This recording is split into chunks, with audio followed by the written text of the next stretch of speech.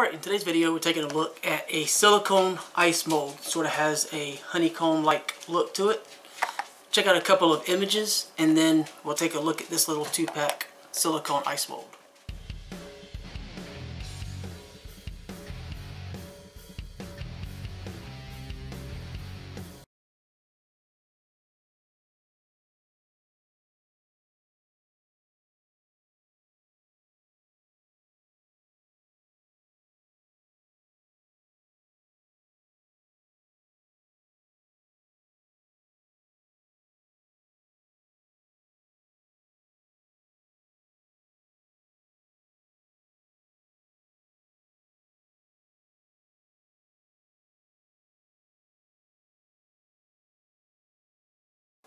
Okay, so as stated, we're taking a look at a silicone ice mold. This is one, the yellow, and it has a lid. This lid is not intended to completely seal, so keep that in mind, but it does fit really, really well, so it's kind of a perfect fit.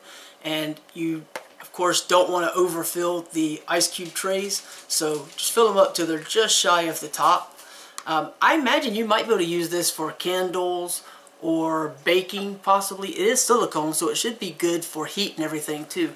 And they're not super super rigid so when you go to pick it up you know you do have to be careful but I like that it's small enough you can actually you know get your hands under it pretty easily and get the lid on it. You don't have to really worry about spilling too much. So let me show you the other one. So this is one obviously it's been in the freezer. And there are your ice cubes.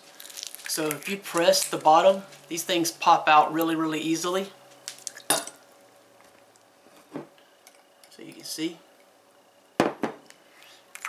It's very, very easy to get these out.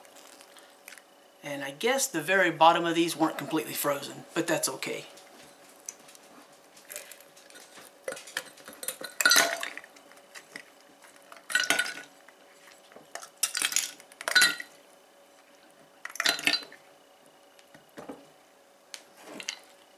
So some of that wasn't completely frozen, so I didn't wait quite long enough on this particular set.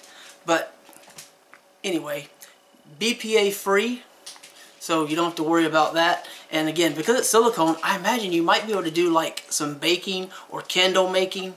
Um, I don't know. It doesn't state anything about that, but I don't know enough about, well, silicone for baking should be fine, but I don't know about candle making, you know, really.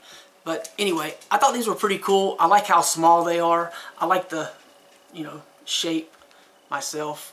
And the walls on it are thick enough or sturdy enough. You don't, like I said, you don't have them like collapsing in on themselves or anything like that, you know, massively. Um, they are pretty decent as far as the thickness goes. So, again, just keep in mind, these lids are not going to seal. Um, it's just nice that you know you have that option. It keeps things from uh, getting into the ice if you know, and uh, smells and everything are also not as bad when you have a lid. So anyway, that's pretty much it. I just wanted to share that with you really quickly. I thought they were really cool. You get a nice little two-pack. They're not very expensive, and you could probably use them for other things depending upon, you know, what type of usage you really have. So anyway, if you want to find out more about these, you can check out the link below the video and that's pretty much it. Thanks for watching.